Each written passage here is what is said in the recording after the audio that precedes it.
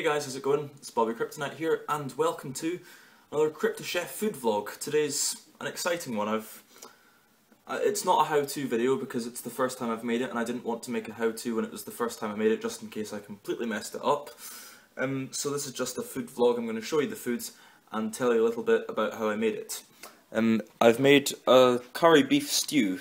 Um, I'll yes, what I did was I got some diced casserole beef from Morrison's because Morrison's have a great deal on meat. You can get three packets of good quality meat for £10 or £4 each. So I bought 500 grams of mince, pack of diced casserole beef and some meatballs. So that'll do me for a while.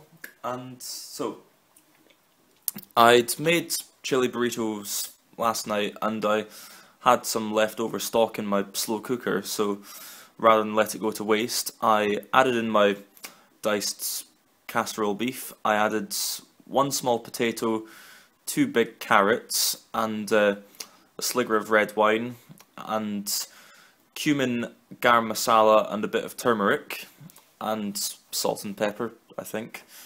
And so that's how I made the the beef stew part of it, and the owned jalapenos, and the stock that it was cooked in had little bits of mince, red wine, and more jalapenos because it had been my chili beef had been my chili mince had been cooking in it. So I've got that, and I've made sort of Bombay potatoes as my little side dish. So I've just boiled some potatoes for 10 minutes and then diced them up and put them in a pan with some olive oil, garlic, onion that's been sauteing, and some cumin seeds, and plenty of garam masala, and salt and pepper. Just stir it, and it should be fine. And th this, the curry, it's been doing overnight. I had my slow cooker on a low setting, and I just left it on overnight. And when I went to church, and here it was, pretty much ready to eat when I got back. So that's how it's made. Let's see how it tastes. just fill my seat in. Now, we shall take this bit, think. Well, we'll say grace first. Kind of difficult to say grace when you're vlogging when you've only got one free hand. What if I try and put you guys there? Yes. Okay.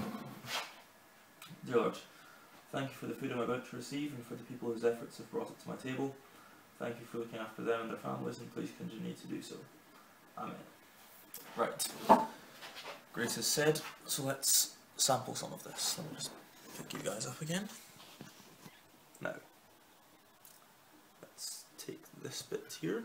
Got a bit of beef, a little bit of potato, bit of carrot, and let's see.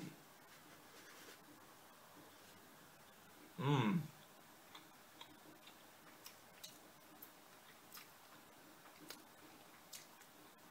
Didn't quite get a big enough bit of beef there, but it was good. Let me try a bit of beef.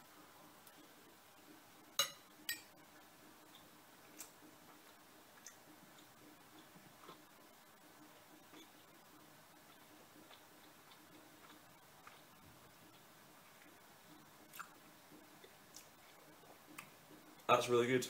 I'm really pleased with that, so that's good. Now let's try these fried potatoes.